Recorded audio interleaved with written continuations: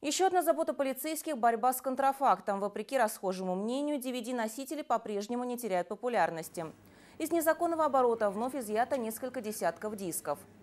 Стражам порядка поступила информация о том, что в одной из торговых точек Ленинского округа продают диски с признаками подделки. В результате проверки было установлено, в магазине действительно продают DVD, на внутреннем кольце которых не указаны наименование лицензиата и номер лицензии. Возбуждено уголовное дело. По решению суда данная контрафактная продукция может быть уничтожена. А, Владельцу торговой точки грозит крупный денежный штраф.